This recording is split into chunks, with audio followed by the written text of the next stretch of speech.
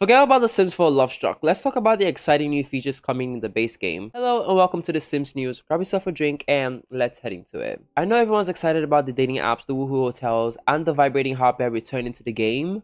But for my simmers who either won't be getting this game pack, sorry, expansion pack, and my simmers who won't get the pack right away and are waiting for like a sale or something, let me give you something else to be hyped up about. You might be wondering, we get like base game updates like every other day, what's so special about this one? Well, in recent years, the most common problem the community has with EA is them not listening to the community's feedback and requests.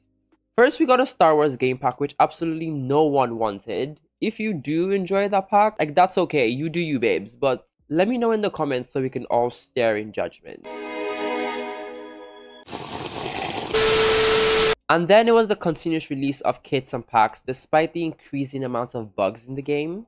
But then they apologized. Yes, EA came out with a statement apologizing for the current state of the game and informing us that they will be focusing on making the game playable again with constant fixes. So what is so special about this base game update is that one feature coming with this update is something that the community has asked for for so long. And I know you're probably thinking one feature, that's it. Yes, it's not a lot, but this could be the start of getting The Sims 4 back to its glory days. Before we get into that feature, let's look at the other features we're getting with this base game update. First, we have romantic boundaries. Have you ever wanted your Sims to have like an open relationship? Well, now you can because we got four new options in Create a Sim.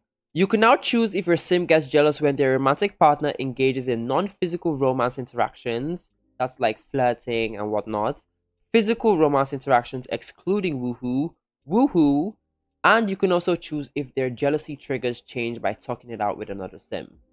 So basically, I'll still need my mods, but I guess it's a cool feature. Also with this new update, we got 3D lashes. I was so glad EA got rid of those like black rectangles that they called lashes. That was until I actually saw the lashes and I just have to say, like, I prefer the old ones. I know we've been asking for new lashes like for a very long time, but I prefer the originals. Um, maybe it's just me, but let me know what you think in the comments. It doesn't really matter to me anyway, since I've been playing with a mod that removes them for like so long. What's really exciting about this update is that lashes now have their own section in Create Sim. This just makes things a lot easier for me when I'm like layering my CC. Now I won't have to choose between having lashes and glasses. Girl, shut the fuck up. You thought you ate that?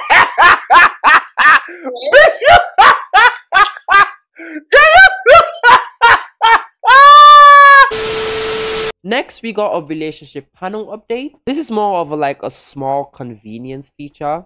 Basically, it lets you create like boyfriend-girlfriend relationships right in CAS or like partner relationships as opposed to having only marriage options like we had in the past. Also, the language in the relationship panel has been updated to be a bit more gender neutral just for a bit of inclusivity. Love that for us. With this update, we also got curved pools, which really isn't a big deal for me since I'm not that much of a builder. Trust me, I would love nothing more than to be good at building. Anyways, this is a nice little update. I hope that it just doesn't release as broken as the curved windows, which till this day aren't fixed. So, in terms of gameplay, we got a relationship section in the conversation wheel. This will contain all interactions concerning relationships like break up, propose, ask to just be friends, ask about romance and woohoo interests, etc., etc. This will also contain interactions from the new pack. We are also now able to hide relationships. Have you ever had that one sim that's just so fucking extroverted that their relationship tab literally is an eyesore? Well, now you can hide relationships without actually losing the relationship. The relationship becomes, oh my god, I've said relationships so many times.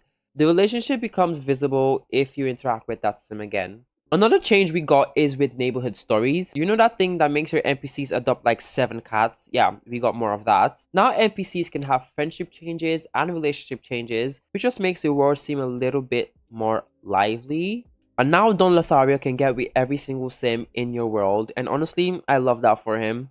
The behavior that you exhibited was whore-like. The whore jumped out, and okay. then it jumped back in. This one is for my streamer girlies. Gone are the days where you face copyright issues because of the Sims music. Because you can now enable stream safe music in the settings. Now, I saved the best update for last. This is a feature that we've been asking for for so long and I've been waiting for for literally forever. We are finally going to be getting a copy paste feature in Create a Sim. to copy styles to different outfits. Gone are the days where you have to repeat the same process over and over and over again. I can't tell you how much I've been waiting for this feature, and I'm sure I'm not the only one. Yes, I know it's not much, but it could be a start to EA finally getting us what we want. Shout out to UrbanSims for showcasing these features with her early access copy. You can check out her video in the description below. Let me know what you think about the features that we're getting with the base game update. Let me know if you're excited for the new pack in the comments below. And that is all I have for you guys today. If you enjoyed this video, don't forget to leave a like and a subscribe. And YouTube thinks you're gonna like this video, so see if they're right, and I'll see you guys over there. Good damn bye.